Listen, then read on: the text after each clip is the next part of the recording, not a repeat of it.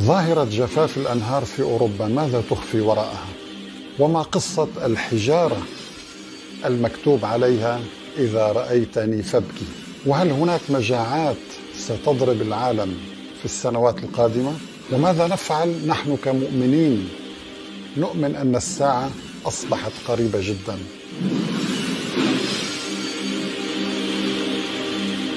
حتى يتبين لهم أنه الحق بسم الله الرحمن الرحيم. الحمد لله الذي هدانا لهذا وما كنا لنهتدي لولا أن هدانا الله. وصلى الله على حبيبنا محمد النبي الأمي وعلى آله وأصحابه وسلم تسليما كثيرا. أيها الأحبة بعد الانخفاض التاريخي لمنسوب المياه في أنهار أوروبا ماذا يحدث اليوم؟ إنها ظاهرة جفاف تضرب هذه القارة وتضرب بعض مناطق العالم. النبي عليه الصلاة والسلام اعتبر أن جفاف بعض الأنهار والبحيرات دليل على اقتراب الساعة مثل انحسار الفرات. ربطه النبي عليه الصلاة والسلام بعلامات الساعة الصغرى. وكذلك بحيرة طبرية مثلا جفاف هذه البحيرة أيضا من علامات الساعة. طيب ما الذي يحدث اليوم في العالم؟ لماذا يتغير المناخ بسرعة؟ لماذا نجد هذه الحرائق في بعض مناطق أوروبا وبعض مناطق الوطن العربي أيضا وفي مناطق كثيرة لم نكن نعهدها. لماذا نجد سيول وأمطار غزيرة جدا في مناطق مثل منطقة الربع الخالي مثل الجزيرة العربية مثلا؟ بينما نجد مناطق في أوروبا تجف الآن. طيب إذا هناك تغيرات جذرية تحدث حاليا في القرن الحادي والعشرين قد تكون دليلا على اقتراب الساعة أيها الأحبة لأن النبي عليه الصلاة والسلام ماذا قال؟ قال بعثت أنا والساعة كهاتين وأشار بإصبعيه صلى الله عليه وسلم. طيب ما هو الهدف من هذا الحديث؟ الهدف أن يخبرنا بألا نطمئن أن الحياة ستكون طويلة جدا وأن الساعة لن تحدث إلا بعد ألاف السنين أو أن القيامة لن تقوم آه، في في هذا العصر مثلا. لا يا أخي الحبيب الساعة لا تأتي إلا بغتة. وقد جاء أشراطها يعني نحن نرى الآن كثير الكثير من العلامات التي أخبرنا بها النبي عليه الصلاة والسلام. لذلك في أوروبا مثلا آه هذه الأنهار التي تغذي الزروع والنباتات والغابات هناك وهي عصب الحياة لديهم. الماء هو عصب الحياة أيها الأحبة في كل مكان وهو المسؤول عن عن ازدهار أي حضارة. حتى إن دراسة لوكالة ناسا تقول إن انهيار الحضارات مرتبط بالجفاف جفاف الأنهار والمياه. أي حضارة تزدهر بسبب الماء وتنهار وتختفي بسبب الجفاف اختفاء الماء. لذلك الله سبحانه وتعالى ربط بين الحياة وبين الماء. عندما قال وجعلنا من الماء كل شيء حي. قبل أكثر من 500 سنة أيها الأحبة ضربت موجة جفاف مناطق في أوروبا. ففي آه، نهر إلبا مثلا بألمانيا نزل مستوى الماء إلى يعني مستوى منخفض جدا. وظهرت بعض الصخور والحجارة.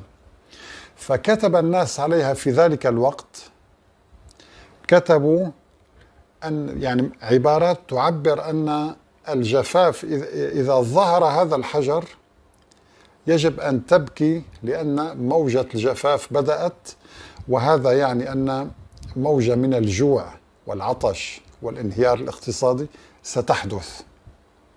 فكتبوا هذه العبارة إذا رأيتني فابكي يعني إذا نزل مستوى الماء إلى هذا المستوى المنخفض وظهر هذا الحجر مرة أخرى فعليك أن تبدأ بالبكاء. طبعا هو كلام فارغ يعني المفروض الإنسان لا يبكي في في مثل هذا الأمر. يعني عندما تحدث الكارثة أنا كمؤمن لا أجلس وأبكي يجب أن أعمل وألتجئ إلى الله أتخذ احتياطات إلى آخره أقوم بعمل ما يعني. إنما هذه العبارة كتبت لتبين قبل 500 سنة حالة الجفاف والعطش والجوع والفقر التي عاشتها أوروبا في فترة من الفترات. وطبعا هناك موجات يسميها العلماء موجات من الجفاف تضرب ولكن هذه المرة يقولون الجفاف الأسوأ في تاريخ أوروبا أسوأ من مما حدث قبل 500 سنة. لماذا أيها الأحبة؟ لأننا اليوم نعيش عصر التلوث. التلوث رفع نسبة غاز ثاني أكسيد الكربون والغازات السامة الأخرى مثل أكاسيد الرصاص وغاز الكبريت وكذا. أصبحت نسبة هذه الغازات في الجو مرتفعة جدا. يعني قبل عشرة ألاف سنة لم يحدث مثل هذا التلوث الخطير. السبب هو ما يشهده العالم من صناعات ومشاريع عملاقة وتلوث بسبب وسائل النقل بسبب الحروب بسبب التجارب النووية إلى آخره يعني. كل هذا يحدث تلوث كبير في تركيبة الغلاف الجوي وبالتالي آه، بدأت تظهر الأعاصير. آه، تحدثنا عن إعصار النار الذي ضرب كاليفورنيا قبل أيام. حرائق تحصد آلاف الأرواح في آه، في فرنسا وأوروبا بشكل عام وفي البرتغال وإسبانيا. وقريبا في الجزائر نسأل الله سبحانه وتعالى أن يصرف عنا كل شر وعن العالم الإسلامي كاملا وعن العالم طبعا. ولكن هذه مشيئة الله أيها الأحبة. الساعة أخي الحبيب قيام الساعة يسبقه تغيرات متسارعة. يعني اليوم هذا التطور العلمي وظاهرة القتل التي كثرت وأنبأنا عنها النبي عليه الصلاة والسلام بقوله ويكثر القتل وفي رواية أخرى ويكثر الهرج. قيل وما الهرج يا رسول الله؟ قال القتل. فلا يدري القاتل فيما قتل ولا المقتول فيما قتل. إذا أخي الحبيب المؤمن لا يطمئن. المؤمن يحذر الآخرة. المؤمن في حالة حذر يومي. يعني دعني أعطيك هذه الآية الكريمة استفد منها واحفظها. أنا بالنسبة لي كل يوم هذه الآية لا أستغني عنها أفكر فيها كل يوم أكررها وبخاصة في الليل. آه الله تعالى ماذا يقول في سورة الزمر؟ أمن هو قانت آناء الليل. القنوت يعني الخشوع والتضرع إلى الله سبحانه وتعالى والخوف من عذاب الله أمن هو قانت آناء الليل أي أطراف وأجزاء أوقات كثيرة من الليل ماذا يفعل؟ أمن هو قانت أناء الليل ساجدا وقائما ماذا أيضا؟ بماذا يفكر؟ دماغك بماذا يجب أن يفكر؟ يحذر الآخرة ويرجو رحمة ربه.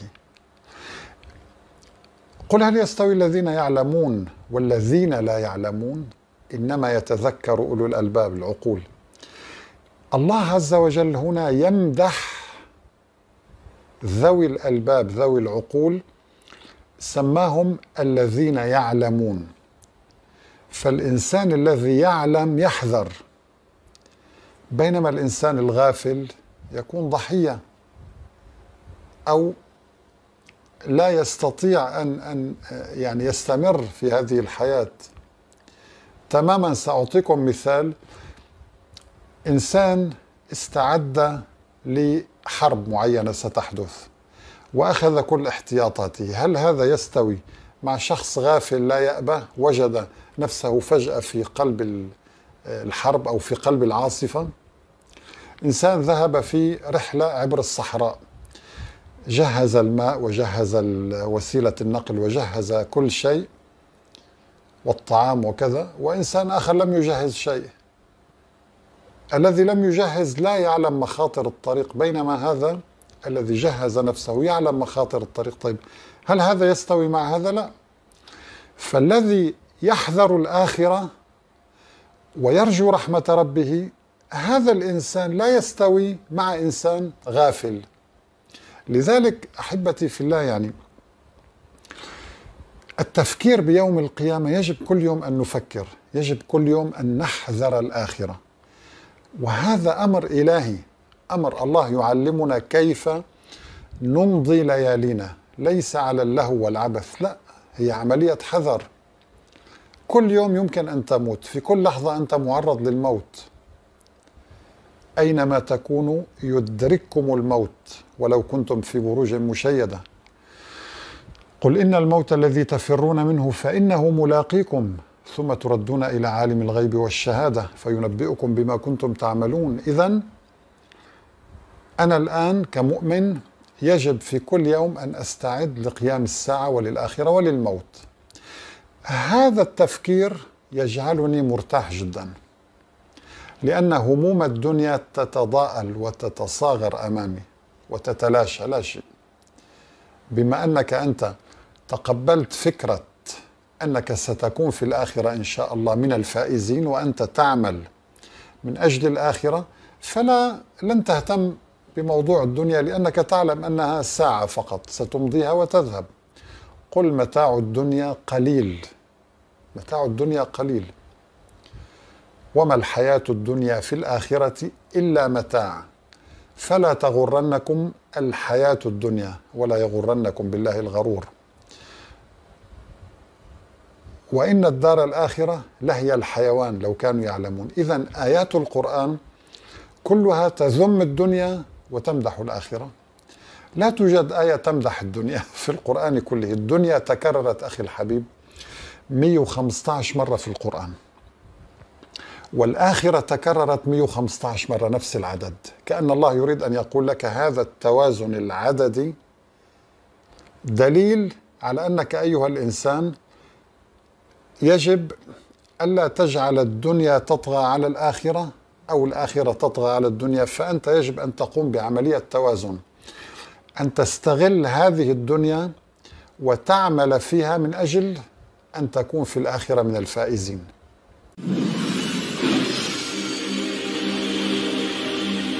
حتى يتبين لهم أنه الحق.